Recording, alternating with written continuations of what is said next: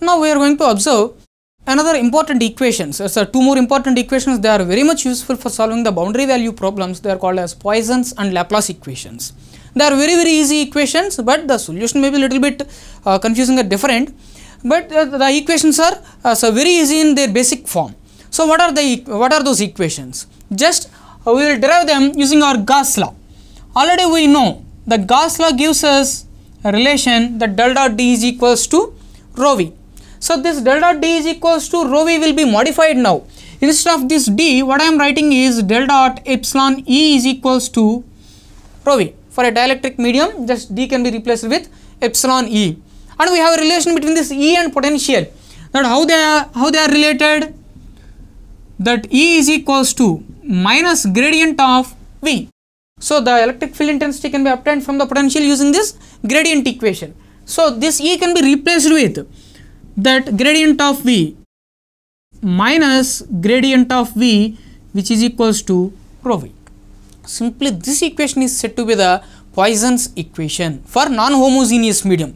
This condition is very very important that we need to remember.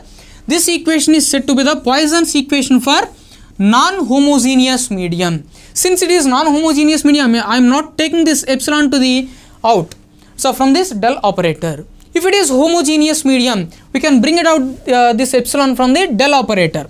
So clearly write on this one as a non-homogeneous medium. And this equation is our Poisson's equation. For homogeneous medium, how this equation can be written? Del dot and this epsilon can be taken out.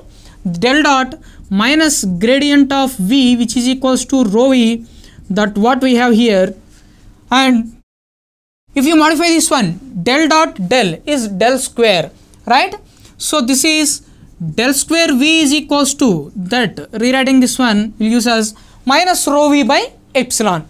This equation is said to be the Poisson's equation for homogeneous medium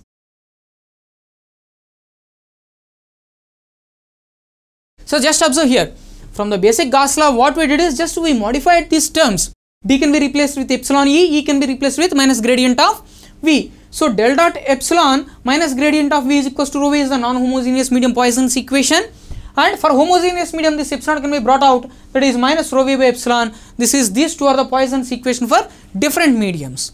A special case of these two equations is called as Laplace equations.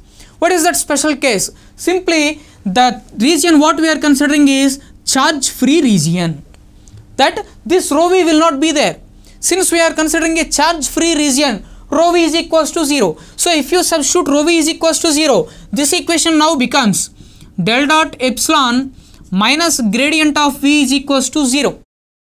Simply this equation is said to be the Laplace equation for non-homogeneous medium.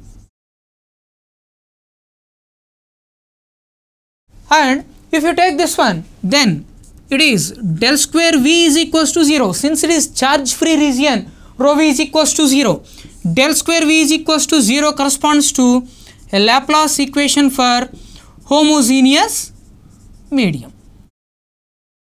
So what we have to do is just you need to remember these two equations initially. Just remember this equation and from that equation by substituting different conditions homogeneous medium charge free medium. We can observe these four equations. They are our Laplace equations and Poisson's equations. They will be very much useful for solving boundary value problems. So if you know what is the solution for this one and the boundary conditions must be very much known to us.